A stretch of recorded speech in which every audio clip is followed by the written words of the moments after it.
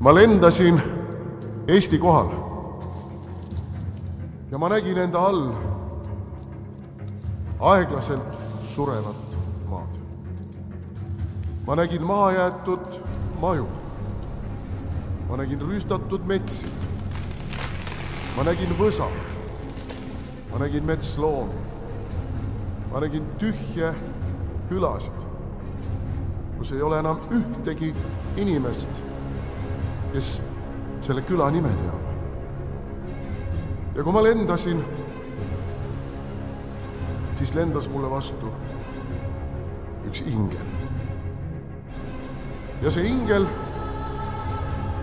võttis mu kätest kinni ja ütles, et sa ei ole veel kõike näinud. vaata, vaata teraselt alla. ja ma vaatasin alla. Ja ma nägin, et ma olin Tallinna kohal. ma olin Toompea kohal. ma olin Stenbocki maja kohal.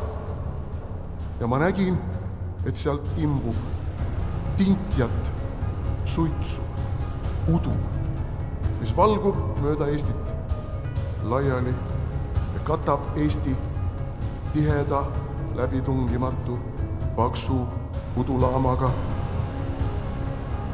see oli hirmutav, sest see udu oli kuri. selles oli tigedus. ja siis ütles ingel, vaata veel tähelepanelikumalt. ja siis ma nägin, et seal Stenbocki majas istub üks naine. ja see udu tuleb tema suust see tintjast kurjuse udu tuleb tema suust. ja matab Eestit enda alla. Siis pani ingel oma käe mu otsa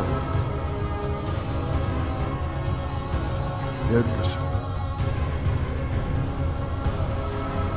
Teile on määratud päästa see maa. Te päästate selle maa